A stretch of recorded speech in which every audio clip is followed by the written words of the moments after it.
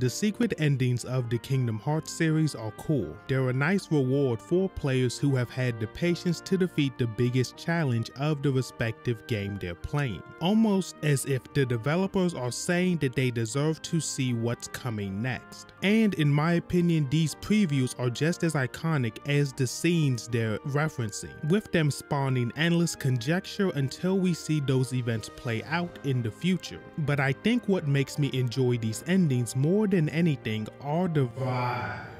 Starting with Kingdom Hearts 1, which has two secret endings, even though one is just a condensed version of the real secret ending, I personally believe what made these endings so memorable is the contrast from the game. Starting from the opening cinematic, Kingdom Hearts is a vibrant game, with the color palette, characters, environments, and even the UI design falling in line with this vision. Even with some of the more subdued worlds like Hollow Bastion and the End of the World having pops of color to keep keep the atmosphere somewhat light. But when we get to another side, another story deep dive, the color palette becomes muted and dull. The bombastic Kingdom Hearts font is replaced with a simple white text. We get introduced to a dark and melancholy city we've never seen. The music is different, the characters are different, the entire tone of the game feels like it's been shifted from its cheerful counterpart. The story itself feels like it's being told from a different perspective than what we've seen before. This is a perfect example of how to use color and tone to create a feeling of contrast between the two different parts of your story. In this case, it helps show the difference between the happy story that we've seen in Disney worlds and the slightly more serious tone Kingdom Hearts will take in the future. Not to mention that this was the first appearance of Roxas with Riku's, Kairi's, and Mickey's Kingdom Hearts 2 designs. Even though this is just a short scene, it's done so well that I feel like these small changes make a huge impact on how we perceive the story that's coming. The scene is visually stimulating, but there's a lot of detail that can be missed if you don't pay attention to what's going on. For example, there are several different types of water in this scene. Raindrops falling from the sky, waves crashing against the shoreline, and even water droplets suspended in mid-air, possibly representing all of the tears that will be shared between Kingdom Hearts 1 and Kingdom Hearts 2. Even though this is just a short scene, it's done so well that I feel like these small changes make a huge impact on how we perceive the story that's coming, and somehow they managed to pull it off again in Kingdom Hearts 2 with the birth by sleep scene,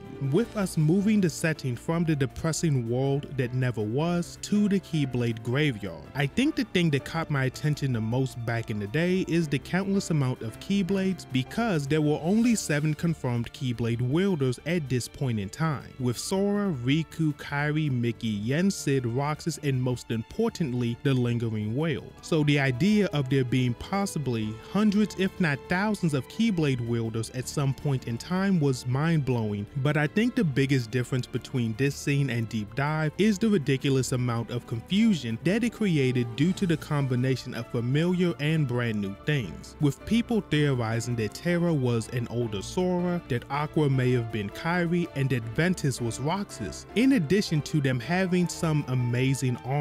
But it doesn't end there because an old man who looks like the embodiment of evil comes out of nowhere dressed like Ansem, with a mysterious kid who's dressed like Riku from when he relied on the darkness in Kingdom Hearts 1. With Kingdom Hearts itself looming over the battlefield, this scene was a confusing mess but it was exciting because fans like me were trying to piece together the puzzle, but the game doesn't give any answers until later in the story. However, another great thing about Birth by Sleep is how it contrasts Deep Dive. In nearly all aspects, with the time going from day to night, rainy to clear skies, and even the result of the two scenes. They both represent a tragedy within the Kingdom Hearts series, but the outcomes of these two are completely different. With Deep Dive leading to Sora waking up, Roxas accepting his fate, and them teaming up to defeat Organization 13 13, but Birth by Sleep leads to Xehanort creating the chaotic circumstances around Kingdom Hearts 1, playing into the theme of duality throughout the series with light and darkness, locations, and the dynamics between characters. However, there is still more to talk about with Kingdom Hearts 3's secret endings. That is unique compared to the others because there isn't any fighting. There are three secret endings in this game and they're more direct than the previous ones were, leading me to not get the same feeling that I had back in the day and I admit that this could be because I'm getting older, more cynical, in combination with other things. But I think the biggest reason why I feel that way is because we have more Kingdom Hearts than ever. Less than a year after Kingdom Hearts 3 was released, we got the Remind DLC and in less than a year after that, we got Melody of Memories which basically answered most of the questions from the original secret ending of base Kingdom Hearts 3. But with that being said, these endings do two amazing things that I can't wait to see play out, starting with the 104 building that comes out of the World Ends With You series, which is only the second time a non-Kingdom Hearts character has appeared in a secret ending with Mickey appearing in the previous two, meaning that it's pretty much confirmed that the characters from The World Ends With You will play a prominent role within KH4 or at the very least make an appearance. Then there's Yozora, a character that we've seen a bit of that could go in so many directions, with him possibly being an alternate version of Sora, his similar appearance to Riku, his mission to save Sora even though he fights Sora after revealing that information. But the craziest thing is that Yozora might be the original version of Noctis from Nomura's vision of Final Fantasy Versus 13 before it transformed into Final Fantasy 15, meaning that it's possible that the entire purpose of this new important character is so Tetsuya Nomura has an excuse to make Final Fantasy Versus 13 under the Verum Rex title,